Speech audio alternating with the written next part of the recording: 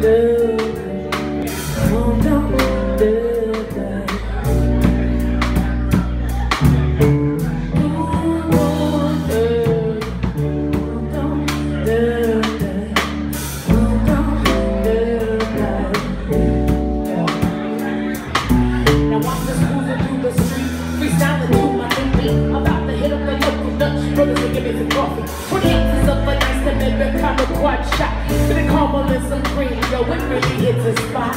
And that's just what I'm talking about. And this is food, food, and sugar will help the medicine go down. This coffee right here will help the thing to read out before I get to school, go to work, and then it's smack down.